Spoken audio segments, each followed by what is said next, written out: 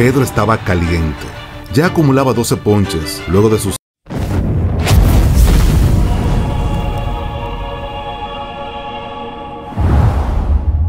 Viernes 10 de septiembre de 1999, 55.239 espectadores, 7.35 de la noche, Yankee Stadium.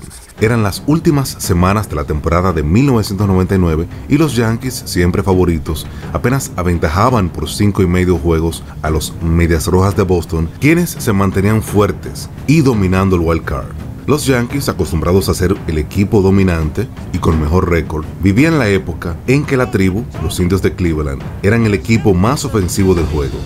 Aún Manny Ramírez no había llegado a Boston y ese año con los indios remolcó la mayor cantidad de carreras de los últimos 70 años. Al comenzar ese día, los Medias Rojas sostenían una marca de 80 y 61 y Pedro Martínez había ganado el 25% de ese total de triunfos. Y en el juego de la jornada, buscaba su victoria número 21. El enfrentamiento era ante el zurdo Andy Pettit, quien tiene registros considerables para Cooperstown.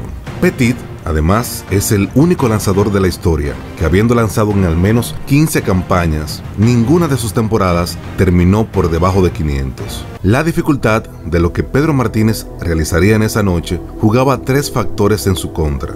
Número 1. El ambiente hostil del Yankee Stadium. Número 2 había tenido ya más de 30 aperturas y número 3, esa alineación era de mucho contacto. Tras haber dado inicio al partido y Petit, sacado los tres outs de la primera parte del primer episodio, tomó su lugar en el box Pedro Martínez. Su primera víctima lo sería el capitán Yankee en el primer episodio, Derek Jeter, a quien abanicó con una a 97 millas por hora. En el segundo episodio, y luego de dos outs, cometió, por decirlo de alguna forma, el único error de esa salida ante el veterano de 6'3 de estatura, 39 años de edad y bateador designado, Chili Davis, jamaiquino, en cuenta de una bola y un strike, le engarzó un lanzamiento entre right center field para la primera anotación que marcaron los Yankees en la noche.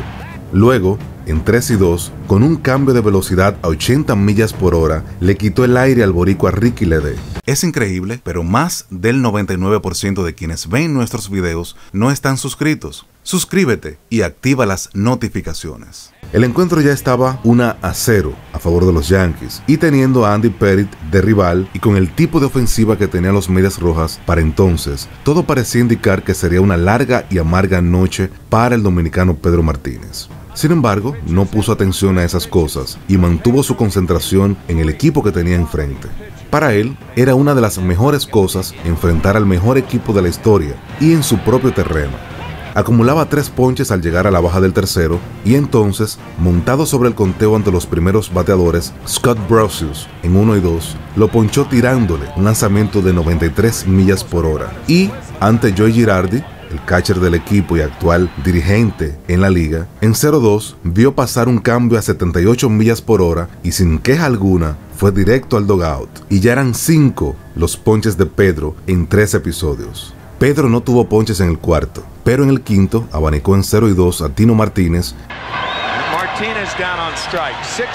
3 y 2 a Chili Davis, un cambio cantado, y a Ricky Lede en 1 y 2 lo hizo lucir bastante mal con un swing sin oportunidades. En este punto sumaba 8 ponches, el juego iba al sexto y nada parecía cambiar en la ofensiva de los Medias Rojas. Pero en la alta del sexto, el líder de los bateadores en la Liga Americana, con 3.51 en ese momento, Nomar García Parra, sobre quien haremos un video en los próximos días, recibió cuatro lanzamientos fuera de la zona, llegó a primera y Mike Stanley, en 3 y 2, le engarzó un lanzamiento entre right center field y, milagrosamente, ahora Pedro ganaba el juego. En cuenta de 1 y 2, Pedro ponchó a Girardi en el sexto y abriendo el séptimo, con un rompiente perfectamente localizado en la zona de strike, ponchó cantado Derek Jeter. Con este ya tenía los 10 ponches, una cifra con la que cualquiera estuviera conforme, pero al parecer Pedro no, porque luego de Jeter, Apollo Neal en 3 y 2 lo hizo ver ridículo con el lanzamiento abanicado y a Bernie Williams, quien le siguió, también. Pedro estaba caliente. Ya acumulaba 12 ponches luego de su séptima entrada de labor y solo restaban dos episodios para ir tras el juego completo. ¿Qué haría el dirigente?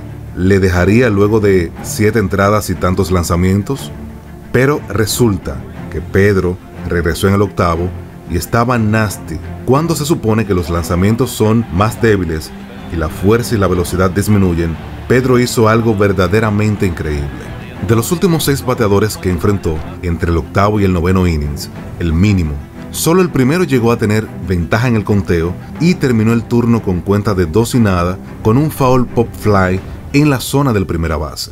Luego, los otros cinco, Chili Davis, Ricky Lede, Scott Brosius, Daryl Strawberry y Chuck Knobloch, todos al momento de ser ponchados fue en cuenta de 1 y 2 y así fue como Pedro Martínez humilló a la ofensiva de los Yankees con 17 ponches con el score final de 3 a 1. Pedro enfrentó a 28 bateadores, uno más que el mínimo. A 19 de esos 28 le colocó dos strikes. 7 de los 28 recibió 3 bolas en su conteo. Sus envasados fueron dos, Chuck Knobloch en el primer episodio con un pelotazo y luego fue puesto out intentando robar, y Chili Davis con su honrón en el segundo, y luego lanzó siete entradas consecutivas de 1, 2 y 3 retirados, solo enfrentando a tres bateadores. Ponchó a 9 en las primeras seis entradas y en apenas 3 entre el séptimo y el noveno a 8 de los 9 que enfrentó. Abanicó a los últimos 5 bateadores que vio en el juego. Al final, Pedro consiguió su victoria número 21 de la temporada y realizando 120 lanzamientos, siendo 80 de estos strikes. ¿Crees que Pedro Martínez ha sido el mejor lanzador latino de la historia? ¿Piensas que de haber tenido una mejor ofensiva de respaldo en esa época, habría ganado más juegos? Te invito a que te suscribas, comentes en la caja de los comentarios y compartas este video con tus amigos.